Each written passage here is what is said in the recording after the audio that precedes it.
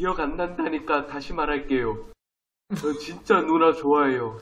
사람 말고 잘하는데요? 야 이게 새끼야 야 이게 새끼야 넌 정말 개새끼야 변명이라도 해봐 이 새끼야 진짜 전 너 잘해줄 자신 있어요. 왜 이래? 너 눈치 없는 애 아니잖아. 병신 새끼.